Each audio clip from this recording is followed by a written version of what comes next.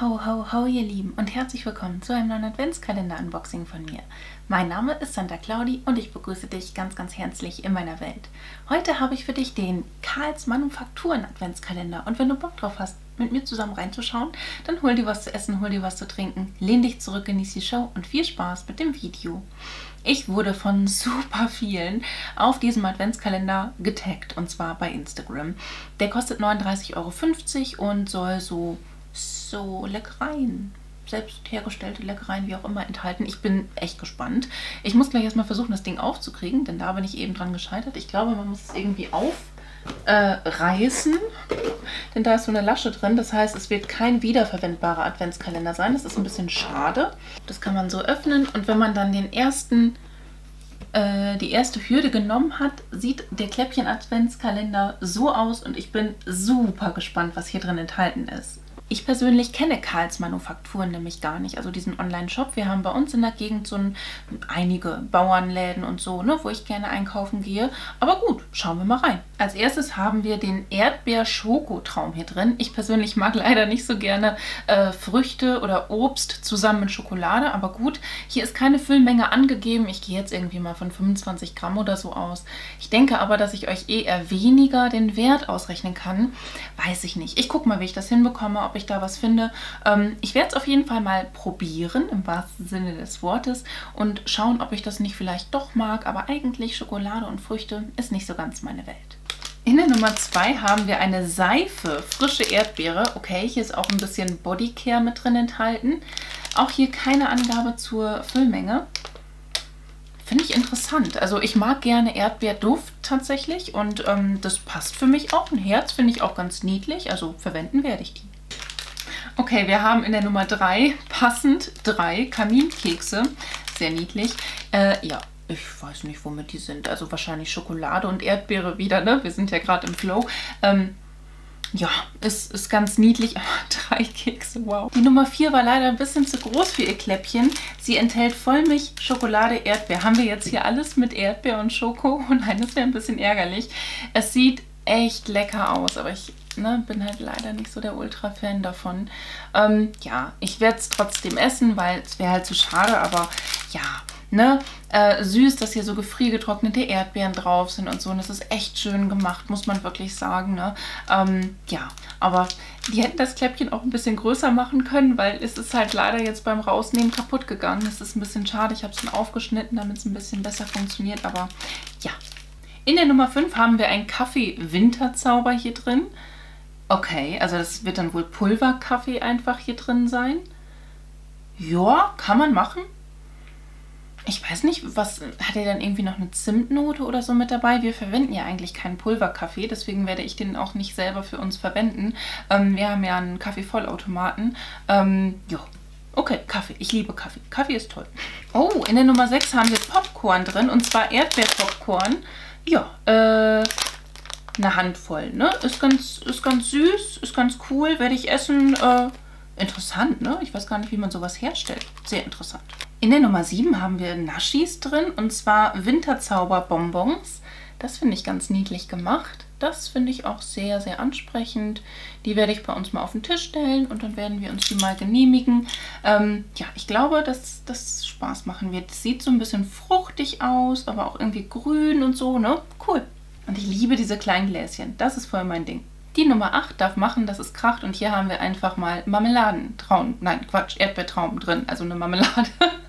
Und äh, ja, auch wieder so ein kleines Gläschen. Finde ich total hübsch. Echt. Über die Nummer 9 möchten wir uns gerne freuen. Und das Ding ist, man sollte bei diesem Adventskalender wirklich beachten, dass man Erdbeer mögen müsste. Denn hier haben wir Erdbeersahnebonbons drin. Auch das mag ich gerne. Finde ich toll. Werde ich auch wieder bei uns hinstellen. Und wenn man auch so kleine Gläschen hinstellt, ich glaube, das wird mein Freund auch ganz niedlich finden. Und da kann man sich mal einen so naschen zwischendurch. Ne? Finde ich süß gemacht, aber es ist sehr einseitig von der Geschmacksrichtung her, muss ich gestehen. In der Nummer 10 haben wir was echt Cooles in so einem kleinen Gläschen und zwar Ostseesalz. Das finde ich mega. Das finde ich wirklich, wirklich mega. Ähm, ne? Ja, Salz, so grobes Salz, wird nach Salz riechen und schmecken. Ähm, Finde ich klasse. Also sowas verwende ich auch super gerne zum Würzen. Klar, es ist halt Salz, aber gerade so grobes Salz, grobes Meersalz mag ich gerne. Diesen Adventskalender könnte man auch nennen die 24 Arten der Erdbeerverwendung, denn hier haben wir in der Nummer 11 ein Erdbeergelee drin. Ne? Äh, bestimmt super lecker, werde ich auch essen. Also ist ziemlich niedlich, ziemlich cool. Ich vermisse halt wirklich Mengenangaben, Mindesthaltbarkeitsdatum. Ne? Sowas gehört da eigentlich mit drauf. In der Nummer 12 zur Halbzeit haben wir Erdbeerkekse drin. Nein, es ist toll. Es ist wirklich toll. Wir haben hier vier Kekse drin, aber man sollte halt wirklich auf Erdbeer abfahren. Ne? Ansonsten hat man echt ein Problem. Hey, es gibt doch noch andere Sachen. Es gibt Kirsche, es gibt Waldfrucht, es gibt Birne, Apfel, Rampampam. Nein, Erdbeer. Und weil die Erdbeerernte wohl so gut gewesen sein muss, gibt es in der Nummer 13 natürlich auch nochmal Erdbeerbonbons. Hatten wir ja eben schon in der Sahne-Variante und jetzt haben wir Erdbeerbonbons. Ja. In der Nummer 14 versteckt sich eine absolute Überraschung, denn hier steht einfach Wintertraum drauf. Es wird eine Marmelade oder sowas in der Art sein, aber wie genau das schmeckt, keine Ahnung. Ähm, ja, interessant. In der Nummer 15 gibt es unsere zweite Handvoll Popcorn, dieses Mal in der Karamell-Variante. Ich lieb's. Also sowas ist echt voll mein Ding, ne? Da könnten die auch ein bisschen mehr von reinpacken. Das erinnert mich ein bisschen an äh, Karneval bei uns, weil wenn da die Wagen halt fahren und dann Kamelle verteilen, ähm, wird auch ganz oft Popcorn geworfen und da frisst man sich da echt voll immer mit Popcorn. Das ist so witzig und es sind halt meistens auch solche Mengen oder ein bisschen mehr. Ähm, ja, cool finde ich auf jeden Fall, dass es hier wirklich alles nur gepopptes Popcorn ist. Da ist kein ungepopptes Korn dabei und auch kein ähm, Kribbelkram oder so. Ne? Das ist wirklich schön ausgewählt. Ja, freue ich mich drauf. Bei der Nummer 16 war ich jetzt ein bisschen schlauer, denn hier haben wir auch wieder eine Tafel Schokolade drin. Weiße Schokolade Erdbeer. Witzigerweise, weiße Schokolade mag ich mit Früchten. Frag nicht, ist total verrückt.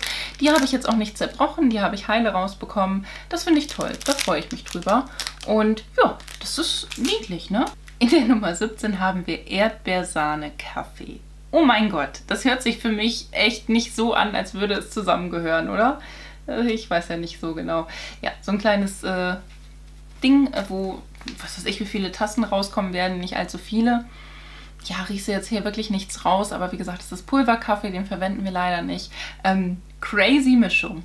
Oh, das finde ich cool. In der Nummer 18 haben wir so eine Trinkschokolade drin. Das ist so ein Block und das kann man sich dann einfach in äh, heiße Milch reinschmeißen. Das ist was für meinen Freund, der wird sich drüber freuen.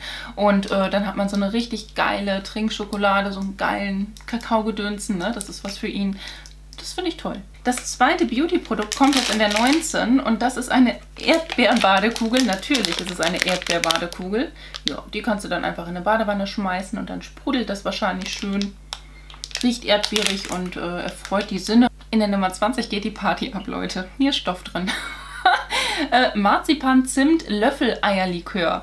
Hallöchen, Popöchen. Ich liebe sowas, ne? Ich bin jetzt ja eigentlich nicht so der Ultra-Alkoholtrinker, aber äh, ab und an darf man sich auch mal gönnen. Und ja, das, das, könnte, das könnte gut werden.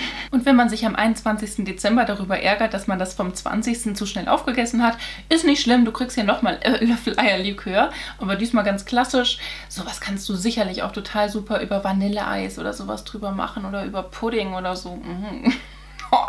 das ist schon lecker. Am 22. Dezember geht unsere wilde Erdbeerreise weiter mit Erdbeer, Erdbeerchutney. Und ja, äh, haben wir hier wieder so ein Gläschen drin. Ist süß, definitiv kommt, ne? Und sowas, das hast du ja bei, bei ein, zwei, dreimal Essen auch leer. Ist alles gut, ne? Aber so viel Erdbeer. Am Tag vor Heiligabend, am 23. Dezember, verwöhnt uns ein Schokotraum. Das wird sowas ähnliches wie halt Nutella, Nusspli oder sowas sein. Ne? Sowas esse ich ganz gerne. Das finde ich cool. Das freut mich. Okay, am 24. Dezember haben wir hier so ein kleines süßes rotes Säckchen drin. Und da ist irgendeine Münze mit dabei. Ähm, Karls Erdbeertaler. Ach so, Karls, die sind dann wahrscheinlich sowieso eher so ein, so ein Erdbeerbauer-Gedönsen, ne? Das wusste ich nicht, keine Ahnung. Ein 5-Euro-Gutschein, ja süß. Dann muss man da wohl mal hin, ne? Ich bin da noch nie gewesen. Ist jetzt ja auch nicht so nah bei. Aber gut, ja, habe ich so einen Taler hier mit dabei. Yay. Das war er nun, der Karls Adventskalender. Ich hätte wahrscheinlich aufgrund des Logos drauf kommen müssen, dass da ziemlich viel Erdbeer drin sein wird. Ne? Also die sind ja echt mega eskaliert hier mit ihrer Erdbeere, meine Herren. Ähm, mein Erdbeerbedarf ist auf jeden Fall erstmal ganz gut gedeckt. Das ist ja Wahnsinn. Ähm, auf jeden Fall ein interessanter Adventskalender. Ist er wirklich seine 39,50 oder was er da gekostet hat wert? Ich weiß es nicht. Ich glaube, ich habe letztendlich irgendwie 44,40 Euro oder so bezahlt. Keine Ahnung, weil ich ja noch den Versand auch mitbezahlt habe. Ähm, ich weiß nicht. Also tut es dann nicht einfach einer von DM Bio oder von NR Bio oder keine Ahnung, von, also von DM oder von Rossmann? Ich glaube schon. Und wenn man halt einen großen, geilen Adventskalender haben will, dann würde ich eh den von ähm, Degusta Box, Brand News oder so weiter nehmen. Da sind halt einfach noch größere Sachen drin und irgendwie vielfältiger. Hier ist halt sehr krass auf Erdbeer gemünzt und gerade das in Kombination mit Schokolade. Ja, mag nicht jeder, ne?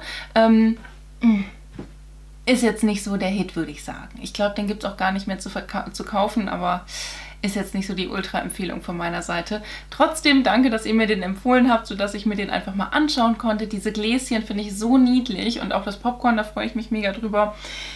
Ne? Auf jeden Fall spektakulär gerade gewesen. Und ihr Lieben, falls euch das Video gefallen hat, dann lasst mir, lasst mir doch sehr, sehr gerne einen Daumen nach oben da. Würde ich mich mega drüber freuen. Ansonsten wünsche ich dir einen wunderschönen Tag, einen wunderschönen Abend. Lass es dir ganz einfach gut gehen. Fühl dich ganz doll gedrückt von mir. Ich verlinke dir mal hier oben meine Playlist mit den ganzen Adventskalender-Unboxings. Hier unten meinen neuesten Upload. Auf dieser Seite noch ein Video von mir. Und hier oben kannst du, wenn du möchtest und es vielleicht noch nicht getan hast, mich sehr, sehr gerne einmal kostenlos abonnieren. Ich würde mich echt von Herzen drüber freuen. Lass es dir gut gehen und hoffentlich bis zum nächsten Mal. Ciao!